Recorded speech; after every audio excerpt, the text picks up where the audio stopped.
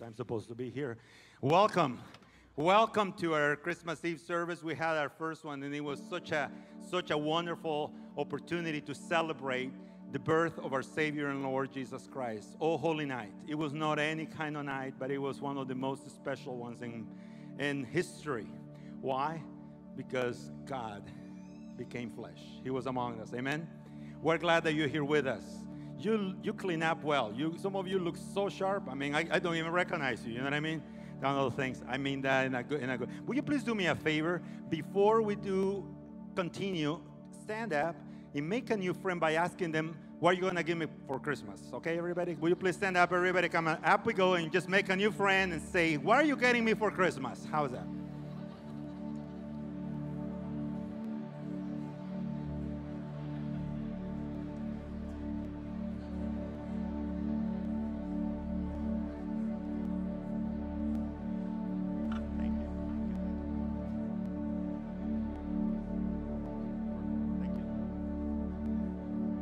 The mystery of the coming of Jesus, where God the Father sent his Son, conceived by the Holy Spirit. So let us praise this triune God together. Praise the Father, praise the Son. Will you stand up, remain standing, and sing the three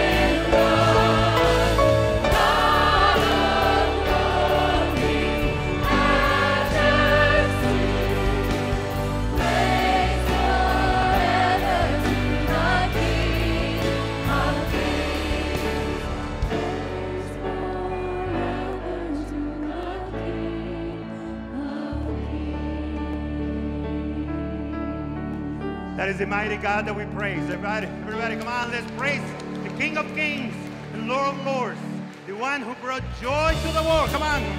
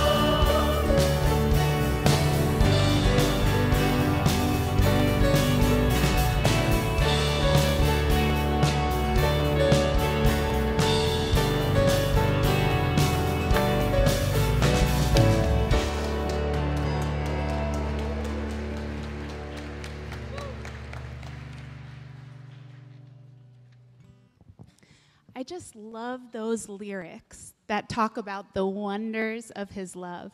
Isn't it cool to really think about that and imagine the wonders of his love? When you have experienced the love of God personally, we really then do have a reason to sing, Joy to the world, the Lord has come. Yes, the beauty of those words. Joy has come to the world, and his name is Jesus. God in flesh. He came as a baby. I can't even wrap my, hand, my head around that. Yeah, and the Bible talks about it in the book of John. The Bible says that the Word became flesh and lived with us. Have you ever paused to really think about that? Why? Why would Jesus come in such a humble and human way?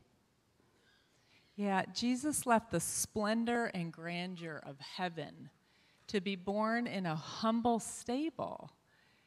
And think of this the one who created the world, the one who owns every corner of it, couldn't find room in an inn. Yet God had a perfect plan. He had prepared a humble manger's stable for the Savior of the world to be born. And now, more than anything else, Jesus desires a deeply personal relationship with each and every one of us as our Savior and Lord. He is pursuing us to make room in our lives for Him to be Lord over it all. And so today, the question for us to consider is this Will we make room in our hearts for Him? Yes.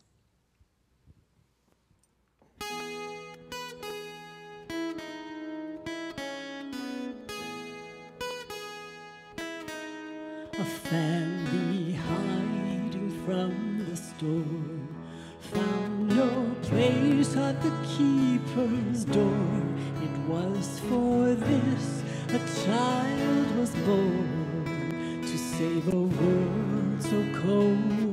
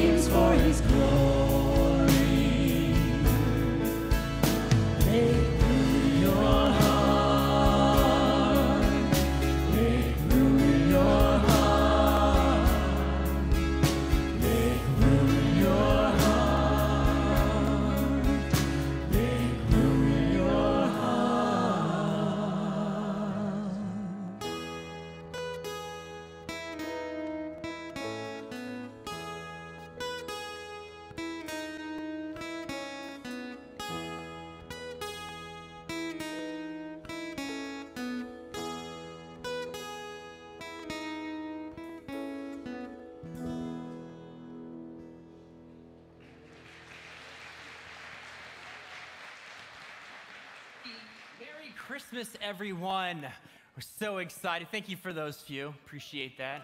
Holler back.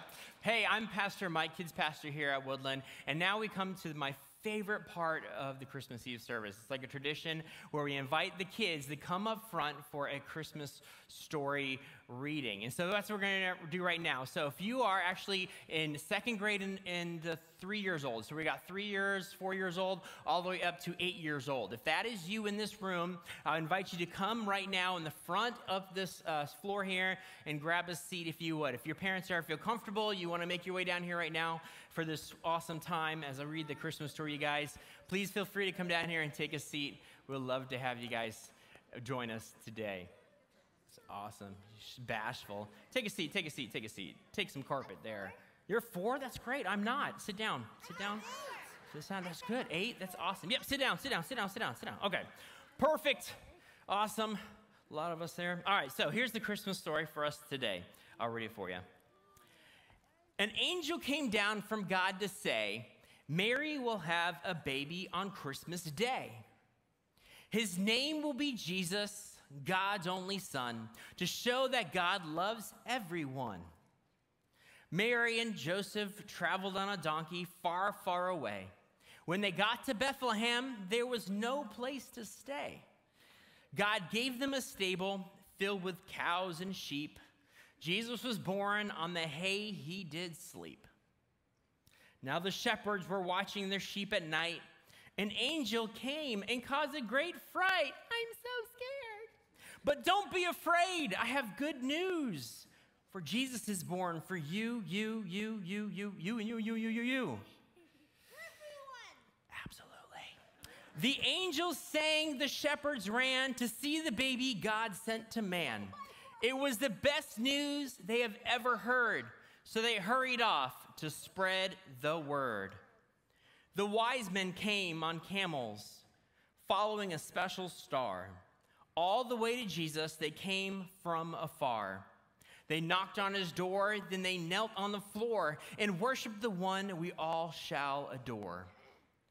They gave their gifts of gold and frankincense and myrrh to the little boy, and everyone's heart was filled with joy.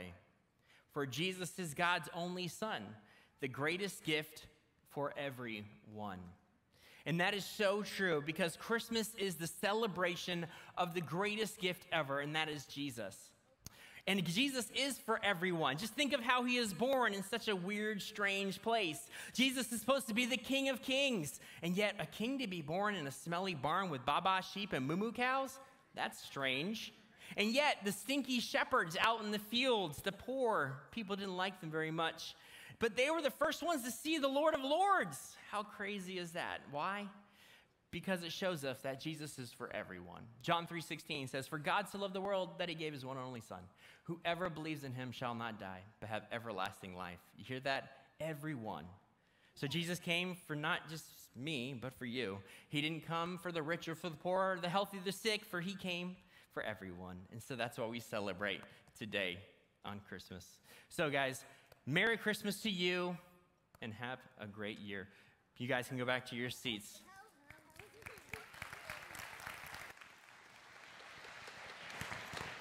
Thanks, Mike. Baba sheep and moo moo cows. He said it so naturally, too, didn't he? I mean, it's just so natural. That's a great children's minister for you. Thank you so much for that. And uh, thanks for bringing your entire families out tonight. It's so good to have you. I'm Tim. I'm the pastor here at Woodland. And I'm so excited that I wore a sweater this year for Christmas Eve, and I actually needed it. Isn't it great? I mean, it's just so incredible to be here on a cold Christmas Eve night, and we're so grateful that you're here. This is our time of offering. I'm going to ask our ushers, if you will, to go ahead and begin passing those plates. We appreciate your investments in the ministries that are taking place here at Woodland. We have a lot going on, and there are some things that we want to invite you to that are coming up in the new year. In fact, uh, our host for our different sections gave you uh, not only a candle and some other things, but they gave you an information card about some events that are coming up. One is on January the 20th, we're having a big movie night in the park in our brand new Woodland Community Park back in the back. If you haven't checked it out yet, we hope you'll come to be a part of that. And we're having an exciting night of worship that'll be having, that we'll be uh, having together here in our worship center on January the 25th. So please make sure you put those dates on your calendars and be looking to see the many other opportunities that you have to get engaged here at Woodland and Ministry. We are here to celebrate the Savior. He is the Savior of the world. So let's continue our worship right now. Yes, our Lord is the Savior. If you could please stand. Savior.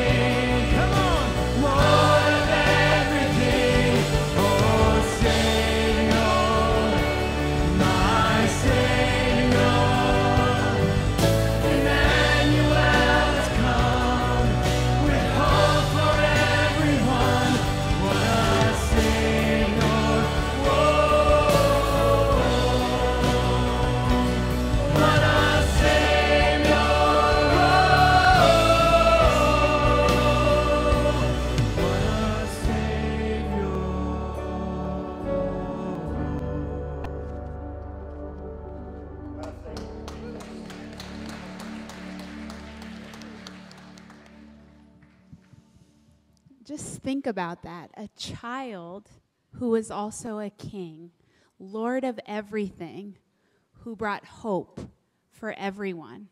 That's so powerful to think about that the King of heaven would come for us to bring us hope.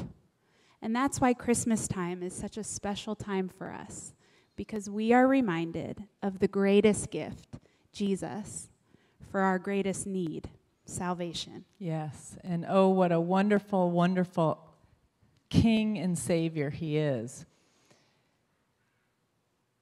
You know, just thinking about my own life, and life isn't easy. A lot of grief and sorrow along the journey. And I know in a room this size, there's a lot of hard circumstances that are, that are going on right now. But can I just testify for a moment about a king and a savior named Jesus? The best. He provides healing, He provides truth, He provides salvation, He provides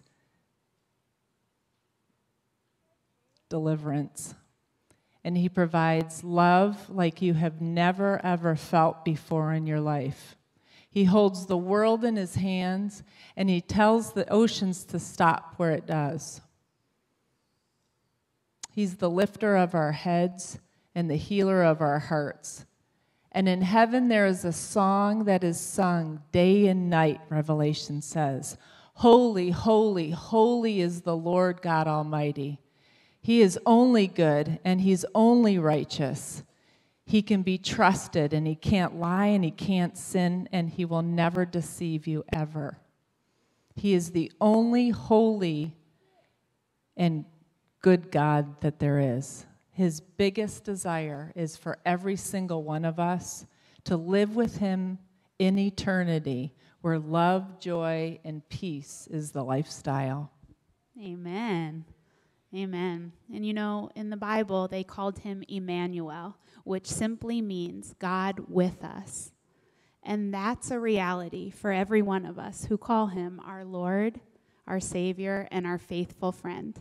He's there with us to lead us, guide us, encourage us, counsel us, inspire us, and love us like only He can. Not only for the rest of our lives here on earth, but for all of eternity. Yes. And that's some pretty good news. Amen.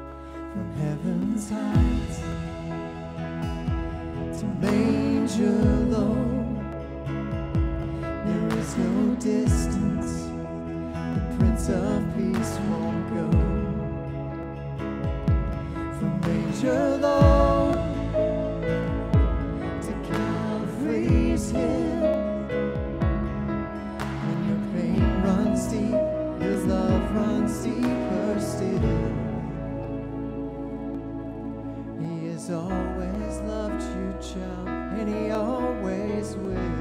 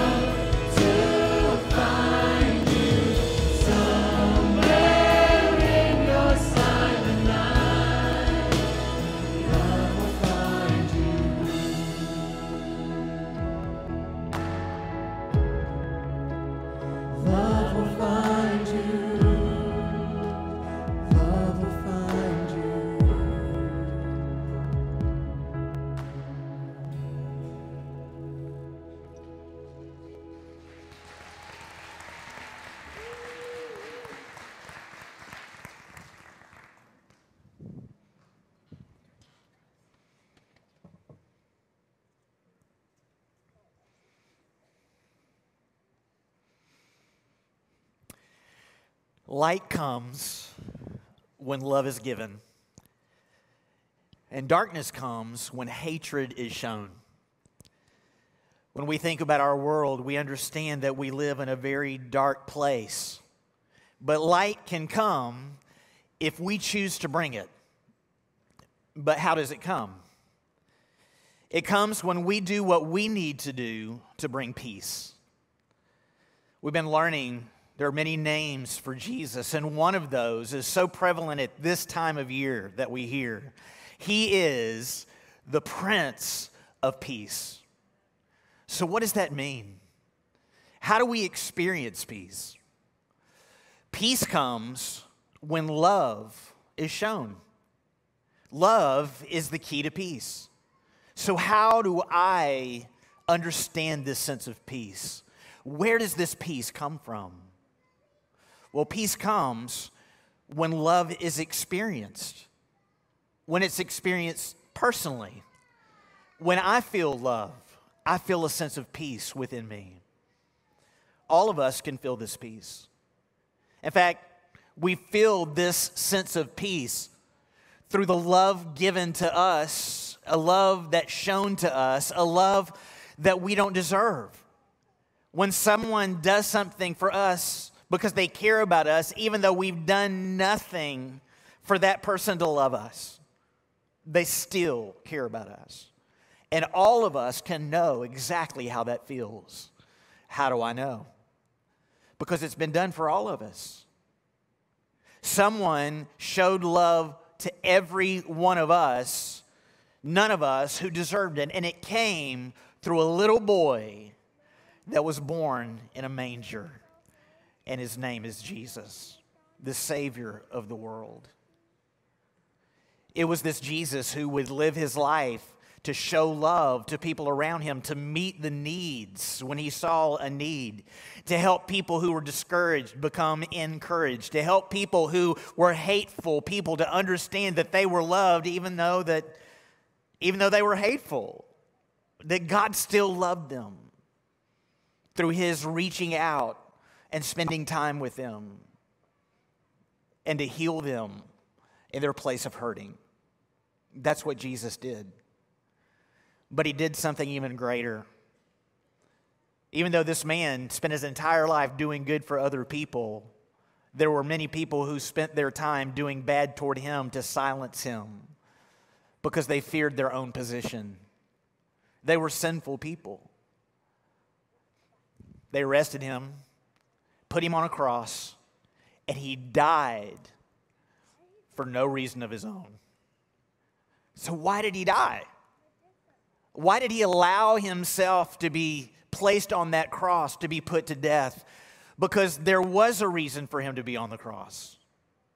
It wasn't to die for what he had done wrong, it was to die for everything that all of us have done wrong. That's where love is felt. When someone does something for us that we don't deserve. And he did it for all of us. Don't you feel the love? Don't you feel the compassion of a Savior who came to do that for us? That was the gift. He did something for us as a gift. He took our place. He took the penalty for what we did wrong as a gift.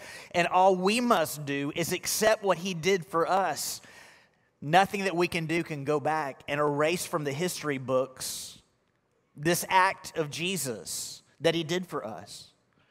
What's so interesting about it is the death of Jesus isn't just recorded in the history of the Bible, it's recorded in other history books known to other men. What makes it personal for us is that He did it for a reason so that we could come to know our Father. The Son, Jesus, came to die to remove the sin that keeps us from having a relationship with God if we'll just allow Him to take our place. Bible tells us really good news. It tells us this whoever calls on the name of the Lord Jesus will be saved. We'll be saved from being separated from God. We'll be saved from having a life without purpose. We'll be saved by having a relationship with this God who loved us enough to send us a Savior if we just accept it. Have you? That's what we've heard through our dialogue tonight, through the songs that have been sung. It's all pointing to one thing that Jesus is the gift that we all need. But have we accepted the gift that we all need? I'm going to ask you to bow your heads and close your eyes right now. It may be that you have not accepted what Jesus has done for you by giving his life for you to take the place for you so that we could be forgiven and know God. And I want to help you right now. Pray a simple prayer of acceptance and of commitment that allows us to be a child of God. I want you to imagine right now God sitting on his throne, and I would encourage you just to say these words to him silently. Say this Dear God, I know you love me, and I don't deserve it. Thank you for sending Jesus to take my place and to die for my sins and to come back to life and to defeat death forever. Thank you for doing that for me. I accept what you did for me, Jesus, on the cross. And I commit my life to follow you as my Lord. Help me to love others as you have loved me. And I pray this in Jesus' name. Amen. If we mean this and we pray this, y'all, it changes everything because we're a part of a new family. I don't know what it's like with you and your family, but meals are a big part of our family. Actually, God established a meal to represent his family. It's called the Lord's Supper. Some of you may know it as communion. And it represents what it is that we believe about this one who came for us. There was Jesus, he's in the upper room with his disciples, and he talks with them about what he is anticipating to come. He had not been put on the cross yet, it was coming, and he wanted them to know why it was happening. He was going to have a body that would be broken and pierced, and blood that would be shed for the forgiveness of mankind, to show love like it's never been shown before. Because he did it for all of us. We need to remember that he did that for us. As you came in today, you were given a little cup. I want you to take that out right now and peel off the top of it. You'll find there the bread on the very top. Underneath that will be uh, the juice that we'll be using for this time. If you're a Christian, if you've given your life to God, you may have just prayed it just a moment ago. Welcome to the family, to the first meal. How's that? To remind us about what Jesus has done for each and every one of us. I'm going to ask you, if you will, to take the bread as we prepare to remember what He's done for us through His sacrifice. The Lord's Supper is given to us to celebrate in the memory of the broken body and the shed blood of our Savior Jesus. It said on the night before he was betrayed and at the conclusion of the feast of the Passover, which he and his disciples were celebrating, that he took bread and having blessed it, he broke it and gave it to his disciples and said, This is my body, which is given for you. The Bible says this that he took bread, gave thanks, and broke it and gave it to them, saying, This is my body given for you. Do this in remembrance of me, of what he would do for us. Well, let's do that now. I'm going to ask you, if you will, to repeat after me these words We are the body of Christ. We are the body of Christ. I will remember his broken body. I will remember his broken body.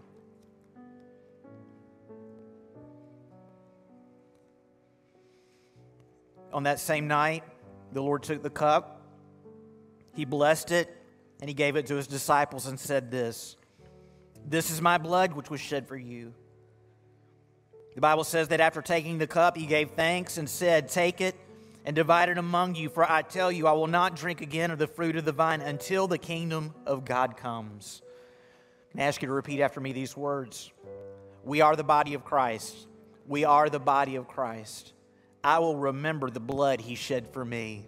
I will remember the blood he shed for me.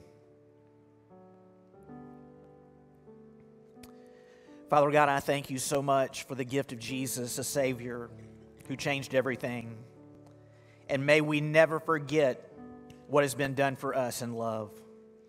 And may we be the children that you desire to be like our Savior, to show that love to the world. And I pray this in Jesus' name. Amen. Peace comes not only when love is experienced, peace comes when love is felt. That we have a compassion within us for those people that we know. A love that is so great that it causes us to care for others and even a willingness to forgive those people who've harmed us. But peace also comes not only when it's felt, but when it's shown. When we become the hands and feet of Jesus ourselves. When we are people who see the needs of those around us and we meet those needs. Light is shown through the love that is given. When someone is going through a heartbreak and is discouraged, and we are present and are encouraging with them, light is shown because our, our love is given. But when people are hateful toward us and say things to us and do things to harm us, yet we still care, a light comes on when we show love to the very people who even hate us. Because that's what changes a heart, changes a life, and changes a world. And Jesus called us to be those people. In the book of Matthew, we read these words Jesus said, You are the light of the world. A city on a hill cannot be hidden, neither do people light a lamp and put it under a bowl. Instead, they put it on its stand and it gives light to everyone in the house. And then he said, In the same way, let your light shine before men that they may see your good deeds and praise your Father in heaven.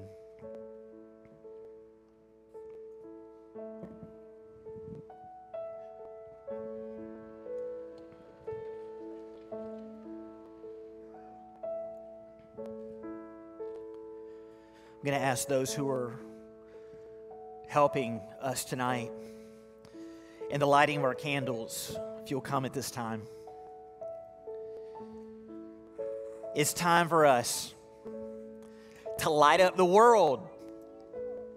It's time for us to light up the world through our good deeds, done out of love to help bring peace between those we know and the God who loves them.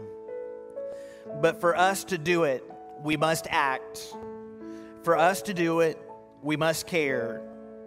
And for us to do it, we must share our love to a world that so desperately needs it.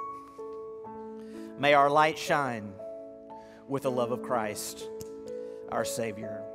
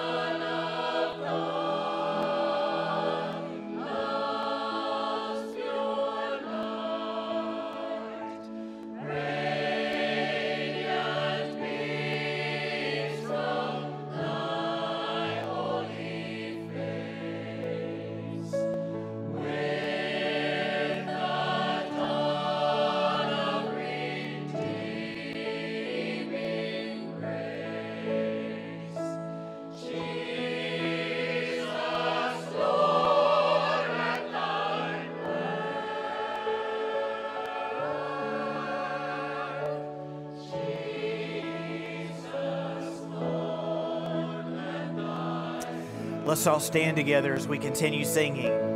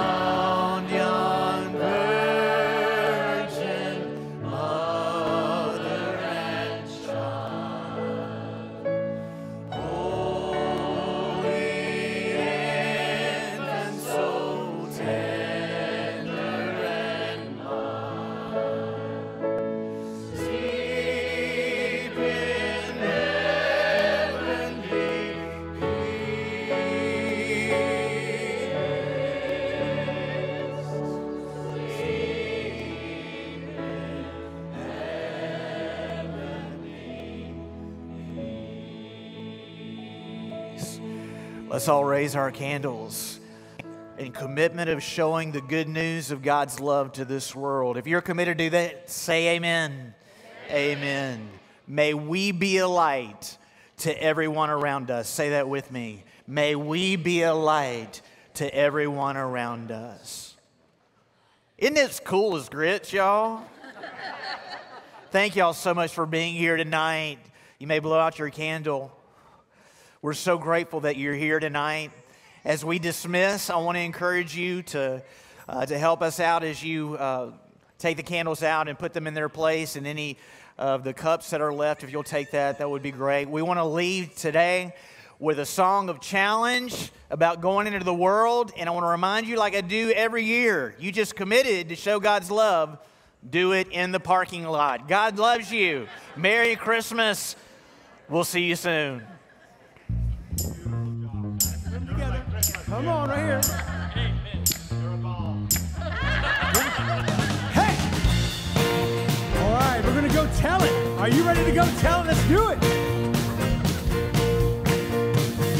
Shepherds kept their watching over silent flocks by night.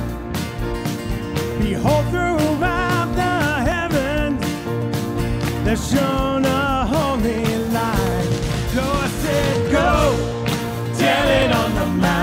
mountain,